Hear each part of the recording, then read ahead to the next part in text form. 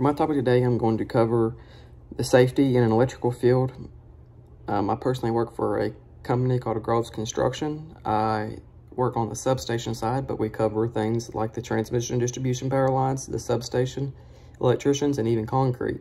With these four divisions, they all condone electricity, so in all these four places, you could often have electrical hazards or electrical safety procedures that if you do not follow, you could often get very hurt or even killed if you're not careful. I work on the substation side because I'm getting experience to be a project manager and that is my current field on this electrical side of the company. I'm going to cover the hazard awareness of electrical. I'm going to, my second point is the maintenance and repairs of an electrical, the lockout tagout procedure, and the safety procedures for unqualified workers. These four points are very important in the electrical field because they all consist of matters that could get somebody hurt or maybe even save somebody's life. The basic safety level is OSHA 10. Most workers that are doing things like this have OSHA 10s because a lot of jobs require this for you to even walk on the site. Um, you can even go as high as OSHA 80, which is a four-year degree, and you can even get a master's in this now. They just came out with it. Um, this is a, we do have safety qualified workers who have these degrees. We have 10 OSHA workers that who have or are safety guys. They um, often come to different job sites and check on you, and these are the ones who perform things like even as simple as a drug test and give you your PPE. So for my first point, I'm going to use hazard awareness. So things like hazard awareness would be your power machines and your tools, um, cords, plugs, outlets, and circuits, wiring switches and breakers, and grounding for tools and equipment and trucks, like things like that, and the proper PPE like I covered before. Your PPE is rubber gloves, and rubber sleeves, and you could even put on a full suit that keeps you from getting shocked. These things can fail, and they it's not 100% guarantee they will save your life, but it is a very good chance it can. Things like machinery and power tools, of course, you never know what can happen with things like this. If somebody's obviously trying to change a saw blade out, and they still have the saw plugged in to the outlet with power on it, then obviously you should probably undo that so they don't accidentally cut a finger off, stuff like that course, wiring switches and circuit breakers, these are all under a lot of power. At least would be 20,000 volts. 20,000 volts is enough to kill you if you are not careful, but things can go wrong. These things can explode and other things happen, which could risk your, you are risking your life working on these things. These are all simple points that you do learn about in your OSHA 10. This is the simplest it could get. It does get a lot more technical as the farther you go through. My second point is maintenance and repairs workers do need to be qualified to do certain maintenance and repairs by OSHA. OSHA is the back the backbone of safety. They do make the laws. That's it stands for Occupational Safety and Health Association. Um, these maintenance repairs they can kill you if you do not know what you're doing because obviously you're you could be going back off somebody else's work, maybe even somebody you don't even know or another company or whatever, or it could be 50 year old 50 years old whenever they don't have the same technology that we do now. Um, that is what causes a lot of things. There is a big chance you could do it different than them, but always coming chasing somebody else's work, you don't know for sure what they did, and it can put you at a risk.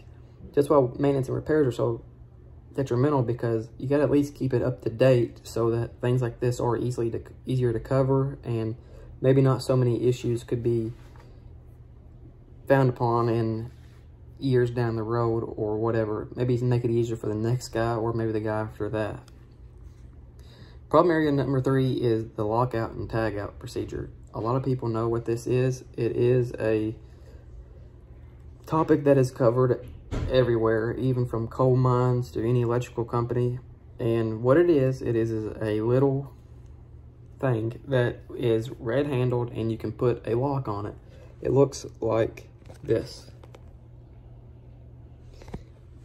So with this lockout tagout, what you do is you say you have a breaker. The breaker, every house or whatever has a main breaker.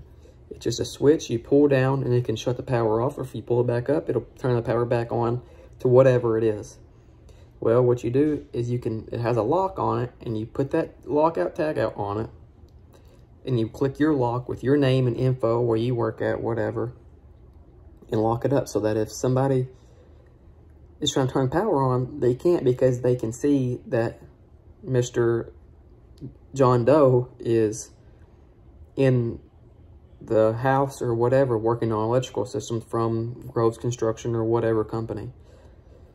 A lot of people are lazy about this. They do go around it, and this is what has caused a bunch of lives in the past. And it's as simple as it can get because it is the first step you should do. You should go check to see if somebody else's tag is in there, and you should see, and if they are, want you to put yours in, you should go put, you should go see what they are doing to the circuit so that you know that if they shut power off, you know what's going on or whatever, just so you are both aware, and you should explain to them what you are doing.